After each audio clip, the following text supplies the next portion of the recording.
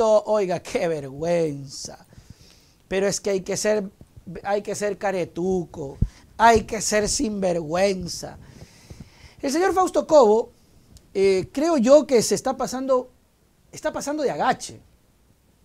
Si se dan cuenta cómo pasa de agache, en el sentido de que han pasado desastres en el sistema carcelario, masacres inhumanas, matan a candidatos y el señor que era director de inteligencia, nadie lo toca. Nadie lo responsabiliza. Los votan al resto, votan al del SNAI, votan al, comandante de la policía, pero al señor nadie lo toca. ¿Sí se han dado cuenta? Y me van a perdonar, pero el sistema de inteligencia debería ser un factor importante porque es el que te permite adelantarte a los actos. Pero no, aquí no se actúa antes, aquí se actúa después. Y miren cómo la lengua paga. El señor Fausto Cobo reconoce que no va a poder hacer nada. Dice en Televisión Nacional que no esperen nada de él ya. Que apenas les queda dos meses de gobierno y no van a hacer nada. Y critica a quienes lo critican, olvidándose que cuando él era ciudadano, era uno de los principales críticos de Correa, que no es malo. Ok, no es malo. Nosotros somos críticos, pero no tengo aspiraciones políticas. Pero si fuese crítico de un gobierno y me da la oportunidad el pueblo y gano, y estoy, por lo menos para no traicionar mi propia mente, mi propio sentir, hago las cosas bien, para no traicionarme yo mismo. El Señor se pasó la vida entera criticándolo a Correa, que todo hacía mal, que todo era perverso, que todo era malo, que todo era raro, que todo era tonto, que todo era inútil. Llegó al poder, le dieron el puesto asemejando a su carrera militar y no ha hecho absolutamente nada. Y hoy dice, y hoy dice que los criticones solo hablan y no vienen, dice él, a ponerse aquí al frente. Cuando se los llama no vienen. ¿Y tú qué hiciste?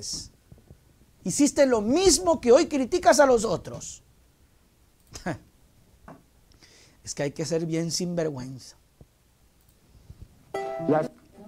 Perdón, se fue producción, por favor. Las cárceles del país no son el cielo, son el infierno. Y entonces hay pocos ecuatorianos que estamos dispuestos a afrontar esos riesgos de la familia y propios, porque quienes hablan, los expertos, los opinólogos, cuando se los llama a que colaboren y que vayamos al campo de batalla, al territorio, a pelear por nuestras familias, no aparecen. Quieren seguir en la tribuna simplemente criticando.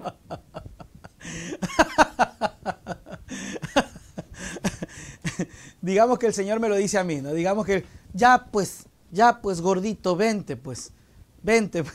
Y yo le dijera, ese no es mi problema, ese es el problema de usted. Sí, usted es el funcionario, usted es el ministro, usted es el director. A mí no se... Yo sí, es mi espacio y critico, pero este espacio, usted no tenía un espacio, usted no hacía comunicación, usted criticaba desde la política. Yo critico desde la comunidad, desde, desde la trinchera ciudadana, desde la opinión ciudadana, desde, desde, un, desde otro criterio. ¿No? Y si me dice a mí, por ejemplo, si me dice a mí, yo le digo y, dice, vente pues gordito, vente para que yo... No, sí, es su problema. Usted es el político. Usted es el político. Usted es el que, el que vocifera. Usted es el que tiene que dar solución. A mí no me pida eso que soy cobarde, diga lo que le dé la gana, pero mi puesto es acá. Usted está allá. ¿Ok? Y miren cómo se cambian los papeles, ¿verdad? Usted criticaba desde el punto de vista político. Perfecto, eso es válido. Hoy tuvo la oportunidad con Lazo, dos años, no han hecho nada. ¿Por qué? Porque usted también forma parte de ese grupo de personas que no quieren meter mano. Porque le tienen miedo a la represalia, porque le tienen miedo a la glosa, porque le tienen miedo a la rendición de cuentas. Usted es el principal que tiene miedo de poner mano. Y hoy se quieren lavar y decir que no pueden hacer nada. Ya no les podemos pedir nada. ¿Qué le podemos pedir en estos dos meses? Nada. Lo, terrible es que siga dando entrevistas. ¿Para qué va? Quédese callado. Aguántese ya. Es como el señor Guillermo Lazo. ¿Qué va a hacer en estos dos meses? Nada. Nos toca aguantar el tiempo que aguantamos al señor Lenín Moreno. Estoy cansado de tener gobiernos que al último nos llega la hora y yo me acuerdo que con Moreno hacía así esperando que avance el tiempo y se largue. Lo mismo con ustedes, esperando que se larguen, porque no han hecho absolutamente nada. Eh, usted tiene razón cuando dice que las cárceles no son el cielo, son el infierno, pero Pero no deberían ser el infierno. No deberían deberían ser, ser, pues. centros de rehabilitación. Absoluta. Pero ¿saben qué? Me voy a detener acá. No sé si tengo el comentario de Correa. El periodista dice, no deberían ser, deberían ser centros de rehabilitación. Pero claro, cuando estuvo Correa y tenían un centro de rehabilitación, y tenían clínicas, y tenían eh, centros de trabajo artesanal, y tenían hasta equipos de fútbol, y tenían hasta universidad para los presos, ¡ay! Ahí está el pacto de Correa. Ahí está estos correístas. Oiga, hable serio. Y ustedes como comunicadores también, pues pónganse serio. Lo que dice el señor Milton Pérez es verdad. No tiene que ser un infierno, debería ser lo contrario, porque se supone que es centro de rehabilitación, porque se supone que te encarcelan porque pagas un pecado. Pero no se acaba tu vida, pues. Y ahí es donde viene la contradicción de la gente. Dice, pero Nelson, ¿por qué? Porque es el sistema, porque está formado así, porque he- hemos evolucionado. No así lo que pasó en, en Guamote, creo que en Guamote, no sé si me, me corrigen, que calcinaron a un vacunador. Oiga, yo no estoy defendiendo al vacunador, yo no estoy defendiendo a los delincuentes. Nosotros no vamos a estar del lado del... Siempre estaremos del lado de la autoridad, del lado de la ciudadanía, del lado de la comunicación, del lado de la gente buena. Siempre vamos a rechazar a toda esta gente que se dedica a extorsionar, robar o matar. Pero la barbarie no nos puede contagiar, pues. Y no podemos regresar a siglos pasados en donde se hacía la mano, eh, justicia por mano propia, se masacraba, se ma- quemaba, y qué bueno como sociedad. Eso nos retrasa, ¿ok? Entonces sí, las cárceles deberían ser centros de rehabilitación, ¿ok?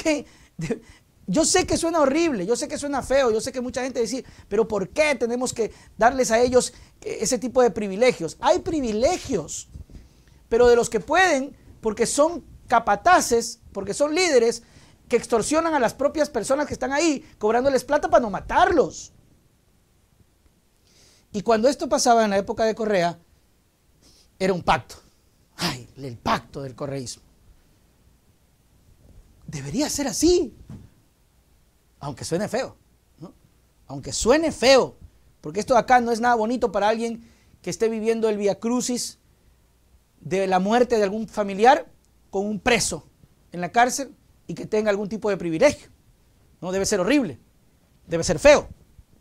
Saber que capturan al asesino de tu hijo y que en la cárcel el tipo tiene derechos al punto de estudiar. Es horrible. Es duro, pero es parte de, de lo que se constituye una sociedad. ¿Qué va a hacer usted para que Me estos- queda- a ver, yo no le voy a mentir al pueblo ecuatoriano, pues. Yo siempre he sido así, frontal. Nos faltan a- aproximadamente ocho semanas Frontal. de gobierno.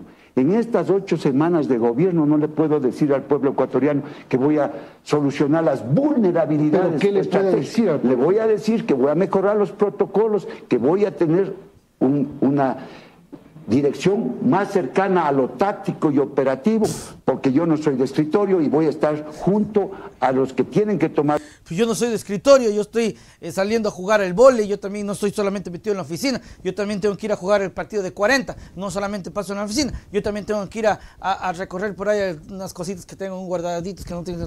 Yo no paso en la oficina, yo también tengo que salir. eh, ya. esas decisiones ¿Cómo va a mejorar los protocolos?